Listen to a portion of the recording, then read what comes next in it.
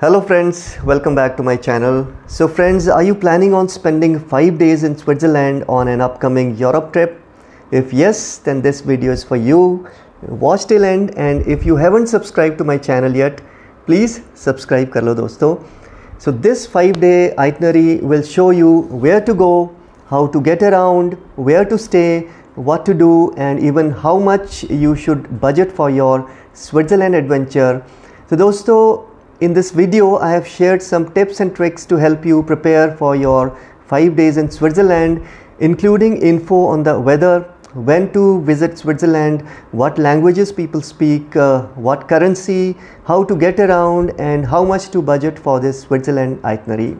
So friends, put on your travel planning hat and let's dive into the ultimate Switzerland 5 day itinerary.